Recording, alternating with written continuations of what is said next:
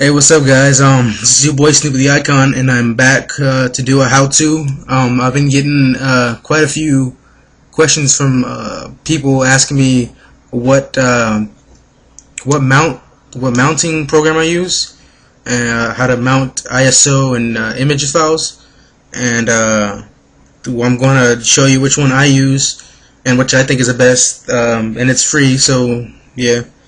Um, here what you do is um it's called power ISO uh, you just go to Google power ISO oh sorry ISO and uh, yes there you go. It's a free download you can buy it but I just use the free download for it now. Uh, yeah.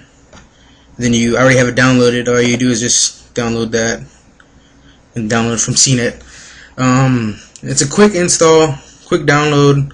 So yes, that's all you, that's all you need. And I'm gonna give you an example of uh, how you use Power ISO. This is what the it looks like right here, Power ISO. And I'm going to open it. Yeah, this is what it looks like. You can also use if you have um, the full version, which if you guys need help getting the full version, I can show you how to get it from Pirate Bay. And um, yeah, so you can also mount you can also burn DVDs burn Wii games or whatever you know however you want to do it use it with.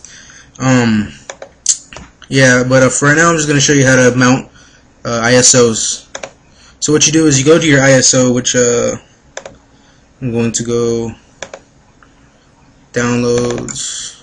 I'm going to use uh, CC where's it at? FIFA 11 I'm going to use FIFA 11 right now. And what you do is when you go to the ISO, you're going to want to right click and uh, go to mount image. I already have it mounted, but I'm just going to show you where to go. You right click, go to ISO, power ISO, and then you go to mount image to G, and then it mounts to it. And once you mount it, you just go to your computer, right there, and it's there, mounted. So what you do is most ISOs do have the crack within the ISO. So what you do is when you want to see the crack, and sometimes it has the keygen, the key generator for the games that you need to install uh, in the install. just open it up, and then crack file right there. There's your crack, and then there's your crack right here, and there's your keygen for FIFA 11. Just go back, and that's basically how you mount an ISO. I use Power ISO there's other ones out there like um, I, I, can't really think of them off my head right now. I'm going to look them up. But um, yeah, that's basically what I use. Power ISO, good fast program. You can basically just quick install. That's all you need to do.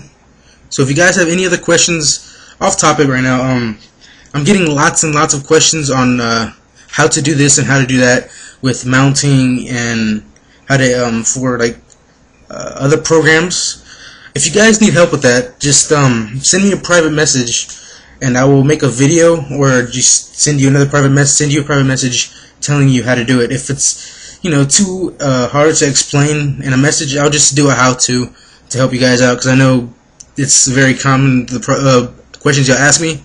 So I'll just do a how-to for you guys. So yeah, that's basically it. Um, yeah, guys, hope you enjoyed this tutorial and. Uh, on how to mount ISOs. Um, hope this helped, and see you later.